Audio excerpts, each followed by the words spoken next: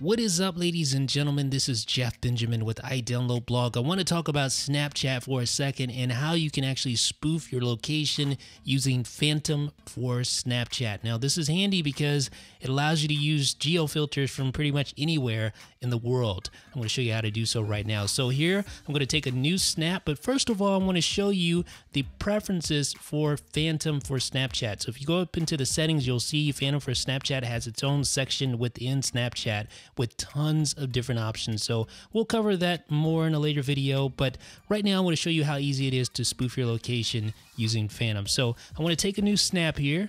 All right. Now you'll see a little location button. You probably can't see it here because it's kind of washed out, but there's a location button there. Just tap that. You'll see this message, spoof location. You can just tap dismiss or never show again. And then what you want to do is basically just move to the area on the map that you want to spoof your location uh, for. So basically, you can select Paris if you want to.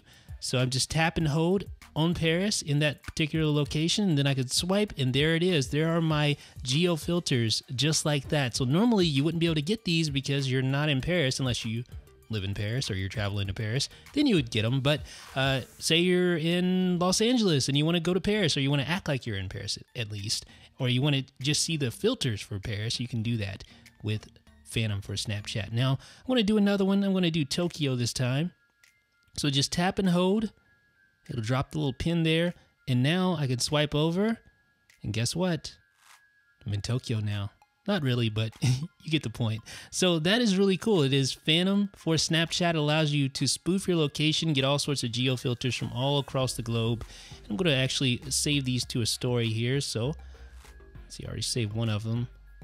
And I'm going to save this last one to my story. Let's just do that here. Tab on my story. There we go. All right, so if you want to try out Phantom for Snapchat and try out the spoof locations, you can find the repo address for the tweak, Phantom for Snapchat, down below in the description. You will need a jailbroken iPhone to do this. Let me know what you guys think down below in the comments section. This is Jeff with iDownload Blog.